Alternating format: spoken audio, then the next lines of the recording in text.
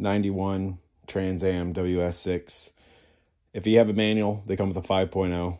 They have to because the 5.7s had too much power for the manuals back in the day. So if you ever had a 350 car, it was always an automatic. But removing the engine and with the front end being so long, this is a trick. You know, cherry picker. Take the bottom of your cherry, take the bottom of your engine stand apart, and you can use it. You know, you want to leave a good eight inches or so in here. Drill hole, drill hole, and then that lengthens it so you won't hit the front of these cars because they're so damn long.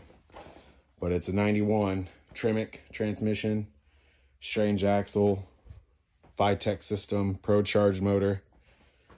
Hurt her a little bit. Got some antifreeze. Looks like I blew some head gaskets. Too much boost. She's coming out.